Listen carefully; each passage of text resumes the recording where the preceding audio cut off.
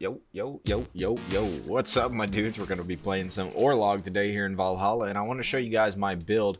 Uh, this is a very advanced build. This is not a beginner build. You can see I've been playing Orlog quite a bit because I've unlocked almost all of the tokens, if not all of the tokens. But the build I'm going to be using today is Thor's Strike, which is the first totem you actually get, where you deal uh, damage for power after the resolution phase.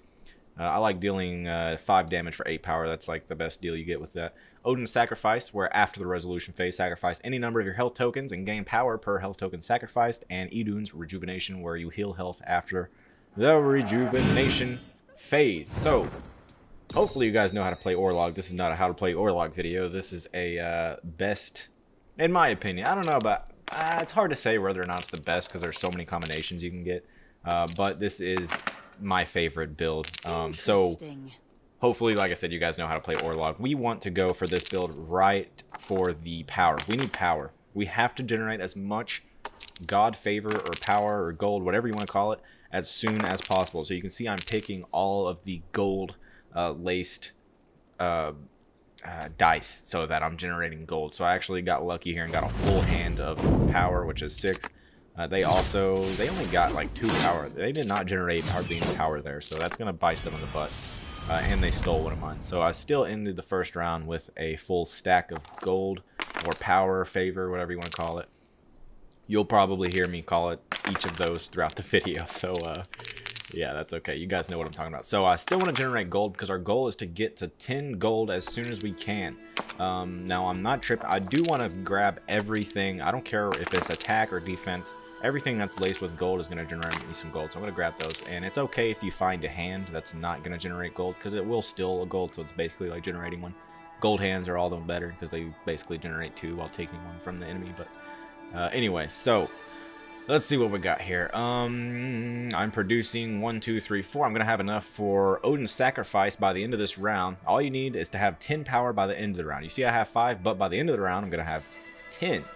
So you want to make sure they're not going to steal any from you and that that is actually going to work. Sorry I'm talking so fast. This is all happening really fast. Uh, I've basically selected the amount of health stones that I want to sacrifice. Each one of those are going to give me 5 power. So two stones make up for the ability. Uh, I always sacrifice 9 stones to get a full thing here. Or close to it. You know, what's, I mean, what's 4 uh, power difference? You know, you're not going to hurt over the extra 4 power that we would have gotten from an extra stone. But if you want to sacrifice 10, do your thing. Just make sure you don't sacrifice enough that's going to get you killed. Because if they are anything like this guy and are holding Odin's Strike, or uh, not Odin's Strike, Thor's Strike, sorry, uh, they could actually, if they had enough power right now, if they had 8 power, they could deal 5 damage to me and I'd be done for. So you got to watch out for Thor's Strike. Thor's Strike is literally the worst enemy. That is the worst counter to this build. Uh, so right off, on the, so this is the round right after uh, the sacrifice. So on the round right after the sacrifice, you're not healed yet. Our goal is to get healed, but until then, you see all the dice I rolled were defense dice. You need to be on defense because right there, I mean, we're vulnerable right now. We have low health. We have five health, right? So, uh, you know, if they bombard you with attack or even get a couple of hits in and then do Thor strike where they uh, they hurt you for five, I, I'd be done there, right? So defense, defense, defense. Now you see I healed with Idun's rejuvenation there, so I got 6 stones back for 10 power. 10 power being nothing because I have a whole lot. And uh, at this point, I'm healed. I'm feeling good. I'm going to go in for the offense. But keep in mind that our offense is going to be a little bit different for this build compared to the way somebody might actually go on to the offensive with any other build because we have Thor Strike.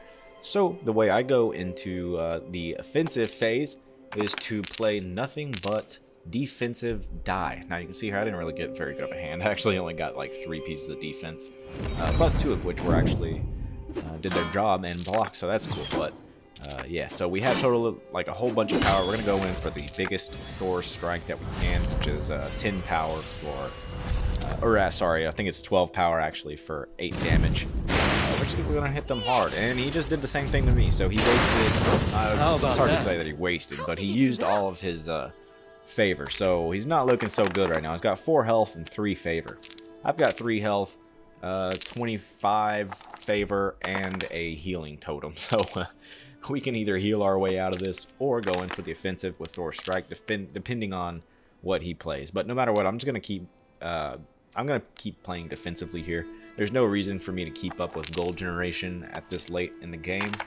Uh, so I'm just going to hit him hard. I'm going to go full defense, make sure he doesn't hit me for anything. It doesn't look like he's actually going to have enough favor to use his Thor's strike again, so I should be in the clear. I shouldn't have to heal here. Just going to go ahead and finish this guy off with a good old 8 damage, 12 power ability here. Sorry, buddy, but uh, this is GG, so yeah, hopefully this helped you guys understand uh, kind of like the more advanced build of Orlog. I know it's not your typical way to play, but I named it the Warlock build because it well reminds fought. me a lot of playing as a Warlock in World of Warcraft. I mean, in uh, Hearthstone. So yeah. Anyway, hopefully you guys Another are able to kick perhaps. ass in Orlog. So good luck out there, guys, and I'll catch you guys on the flip flop.